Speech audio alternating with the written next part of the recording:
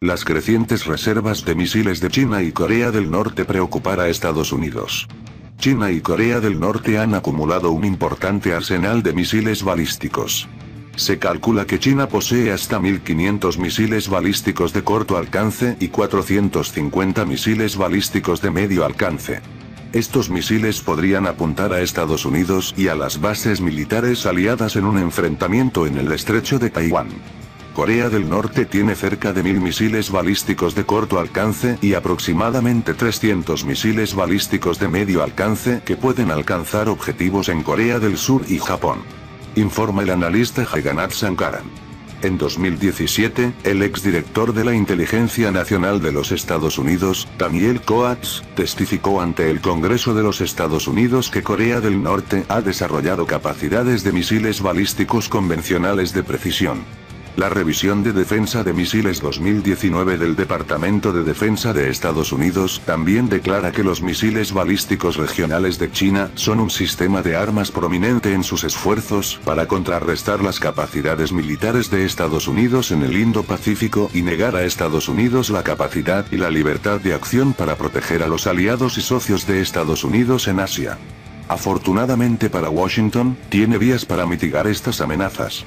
Estados Unidos y sus aliados podrían responder de la misma manera y desplegar misiles contra los activos chinos y norcoreanos para establecer la disuasión. Podrían ampliar las defensas antimisiles en la región de Asia-Pacífico para mitigar la amenaza. Por último, Estados Unidos podría intentar establecer mecanismos de control de armas para contener, y potencialmente revertir, la proliferación de misiles. Todas estas opciones ofrecen posibilidades y desafíos. Comprender las motivaciones que subyacen a las actividades chinas y norcoreanas en materia de misiles permitirá evaluar la eficacia de estas opciones. Pekín y Pyongyang tienen ideas diferentes sobre el papel que desempeñan los misiles en la disuasión y la guerra. Participar en el control de armamentos, desplegar armas ofensivas compensatorias y preparar una sólida defensa antimisiles contra China y Corea del Norte presentan desafíos únicos. Corea del Norte no ve sus misiles como un medio para la reunificación o como activos en una guerra prolongada. Más bien, son instrumentos de coerción y apalancamiento para, por ejemplo, disuadir a los líderes japoneses de ofrecer apoyo material o militar a Corea del Sur o a Estados Unidos en una contingencia militar.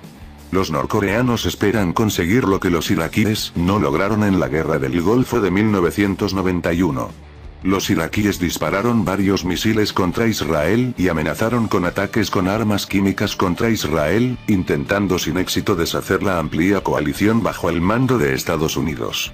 Los norcoreanos esperan deshacer el apoyo japonés a una campaña militar dirigida por Estados Unidos utilizando la amenaza de un bombardeo con misiles. Los norcoreanos también pretenden utilizar su arsenal de misiles para apuntar a las principales bases aéreas militares y puertos de desembarco naval en la región de Asia-Pacífico, con el fin de impedir la reunión de las fuerzas estadounidenses y aliadas para impedir una operación militar al estilo de la tormenta del desierto en su contra.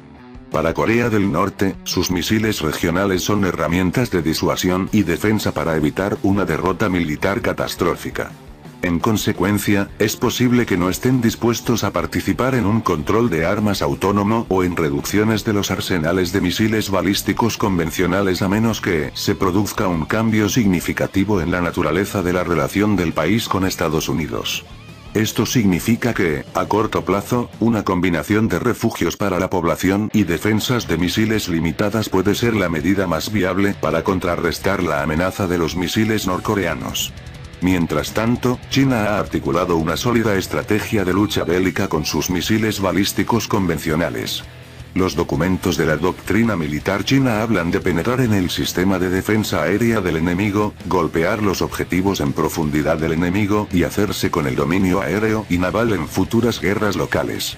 Estos documentos especulan con una campaña de misiles diseñada para degradar las operaciones de defensa aérea de Estados Unidos y sus aliados, seguida de una campaña aérea que utiliza municiones guiadas de precisión más baratas para causar un daño operativo significativo a las operaciones de Estados Unidos y sus aliados.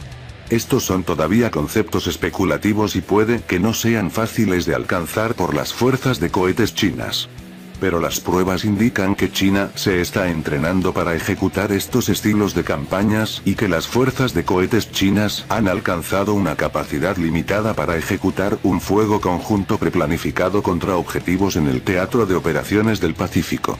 China ha integrado sus misiles balísticos convencionales en su estrategia militar regional. A corto plazo, las medidas de control de armas, como una versión del Tratado de Fuerzas Nucleares de alcance intermedio, parecen improbables. Los despliegues regionales de defensa antimisiles de Estados Unidos y otras medidas defensivas tendrán que disuadir y defender de estas amenazas por ahora. A medida que China construya una fuerza aérea moderna y competente, podría depender menos de sus capacidades de misiles.